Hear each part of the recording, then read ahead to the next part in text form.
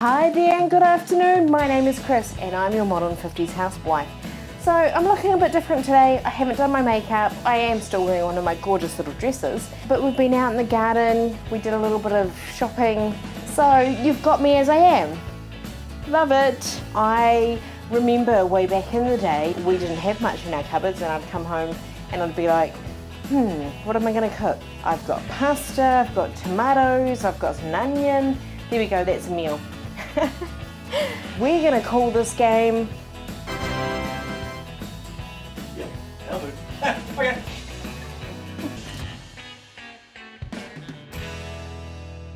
So how it's gonna work is I'm gonna choose five items out of this.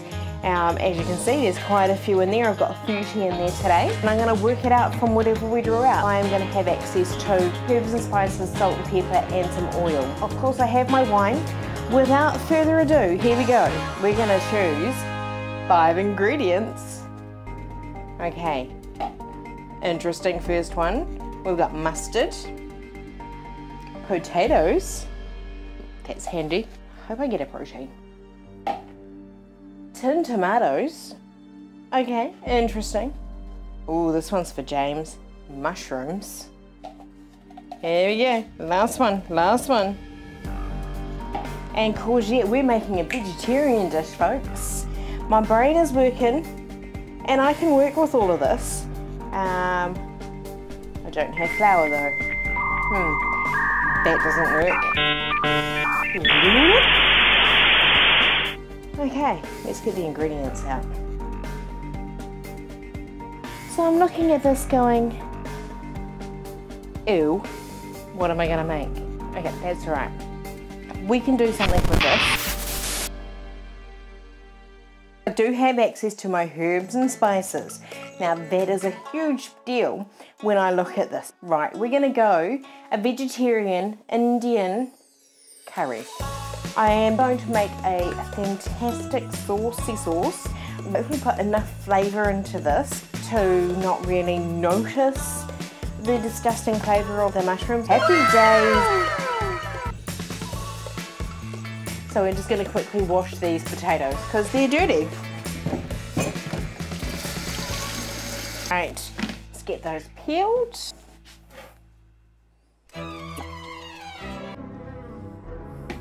Actually, before I carry on, I'm going to get some water ready. No, I'm not because that's not where you do it.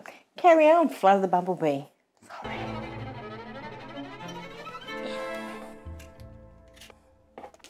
Right, so we've peeled now.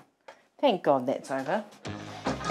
I haven't had to peel many potatoes recently because I prefer to eat them with their skins on, but I got a few potatoes that weren't washed and they're a little bit older than what I have been using.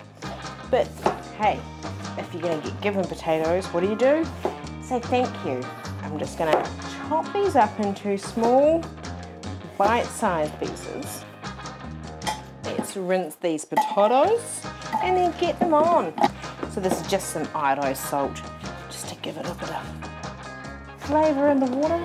I did get told at one point, you don't need salt in your potatoes, but I watch Gordon Ramsay a lot. I love him. Thank you, Gordon. Um, anyway, uh, he always salts his potatoes, so so do I. Let's get those on to boil. This is going to take us about half an hour or so, I reckon. But we're trying something a little bit different, obviously. I've never cooked with these ingredients before in my life. And we're going to bring that up over here so I can actually utilize it. Hey, my gorgeous cameraman, can you tell me if that's in the right place? Wasn't you trying to butter up the crew? Most definitely.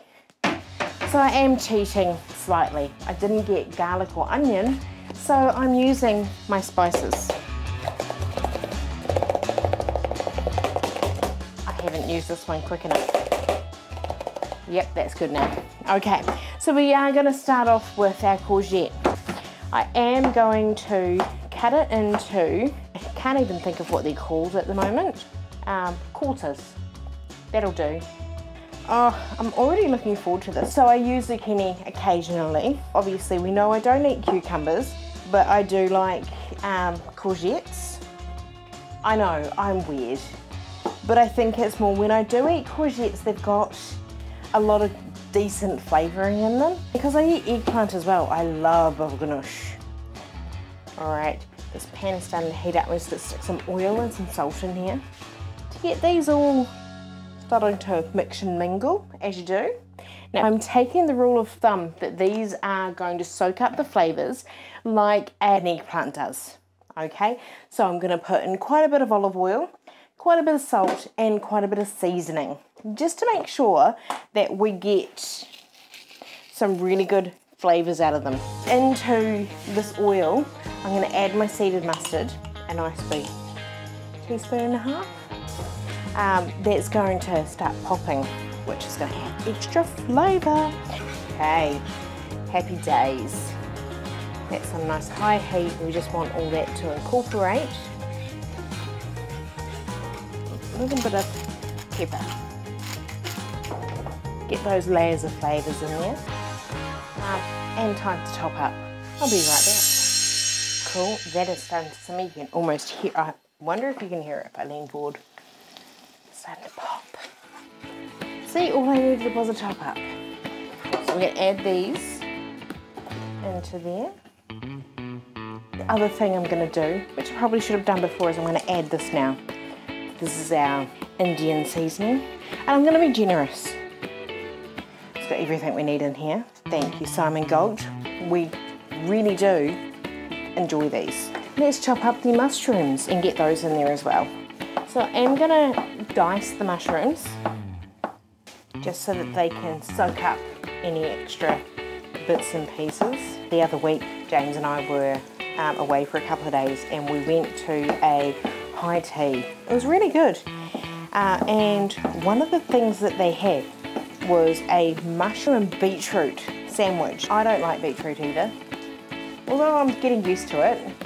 It, it is a work in progress.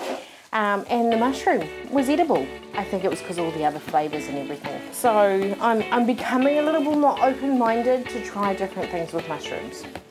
Because if you can't be open-minded, what is the point? Especially when there's good food to eat. I'll throw these mushrooms in as well. Oh, those Indian spices, I can smell them already. I wish you could too. Like seriously, it's so good.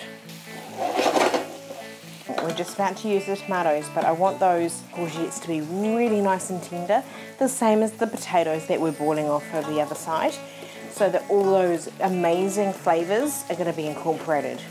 Because just because we've only got a few ingredients doesn't mean that it can't be a hearty, delicious meal. I think this is going quite well.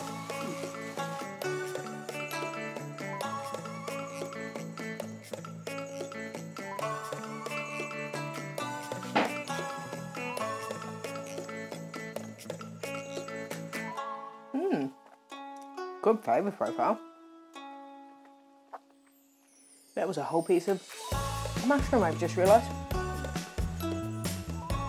I still don't like mushroom.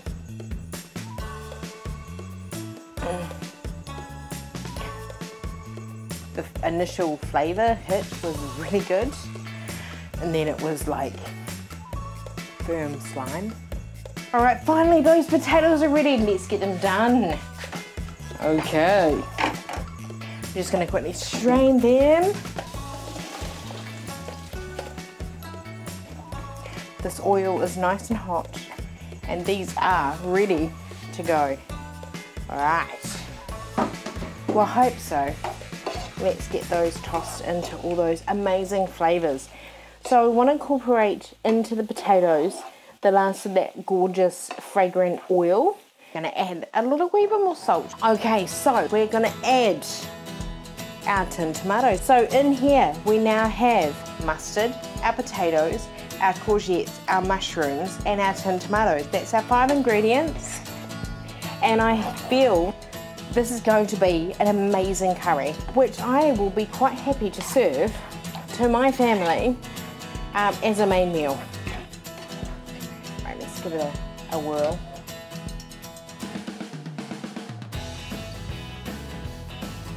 Mm. That's quite yum. Winning. Well, to James anyway. Sam's not going to like it because as soon as he sees green in there, he's going to go, ugh, yuck. But you know what? He's getting there. He'll learn.